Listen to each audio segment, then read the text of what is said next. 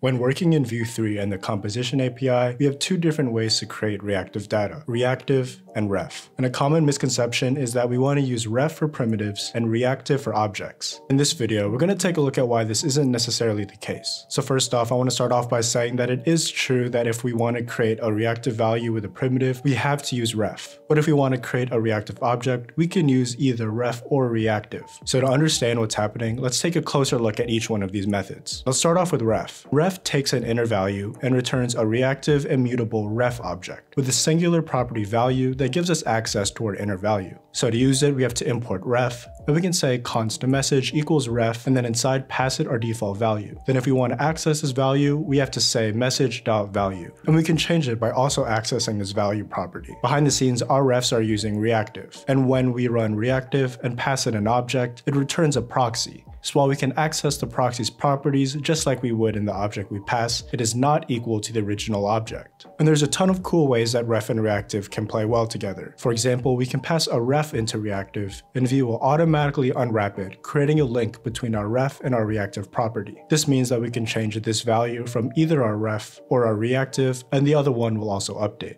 But like I was saying before, if we want to create a reactive object, we can use either ref or reactive. So let's take a look at some equivalent code. Let's import ref and reactive from Vue, and let's first create our reactive object by saying const reactive state equals reactive, and we'll give it a message of hello world. To see what we're getting, let's console.log reactive state. Then let's take a look at the equivalent code using ref. We'll say const ref state equals ref and use that same object of message hello world. If we console.log ref state.value, we'll see that it's equal to our reactive state. Since these are both proxies, we can call a lot of the Vue helper methods, such as read-only, which returns a read-only proxy, toRefs to convert our object into multiple reactive refs, and anything that we would do to our normal reactive object. So then you may be asking, when would I want to use reactive? And this next part is 100% own opinion, and I'd love to hear your thoughts down below, but I found myself using ref everywhere in my Vue 3 projects. And while you think this may be annoying to always call the value whenever we're accessing a ref, I think that this is one of the reasons I like using ref. It makes it very clear when I'm working with reactive data as opposed to just a normal JavaScript object. But as most things programming, it ultimately comes down to your personal preference or your team's preferences. I'd love to hear how you guys are using ref and reactive in your projects, and as always, don't forget to like and subscribe for more Vue content.